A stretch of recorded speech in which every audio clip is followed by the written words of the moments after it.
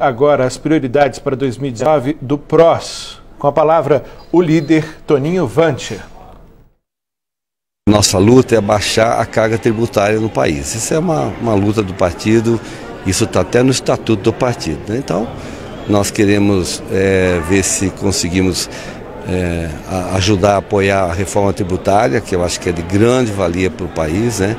O PROS também tem é, deputados que, ligados à saúde e nós queremos criar uma comissão é, para debater o câncer. E nós achamos que temos que ter uma nova uh, plataforma de energia, né? porque o Brasil já está na hora de começar a, a, investir muito mais em energias renováveis, aquela que não polui, aquela que não precisa de fazer barragens. Falando em barragem, a gente fica até tremendo, né?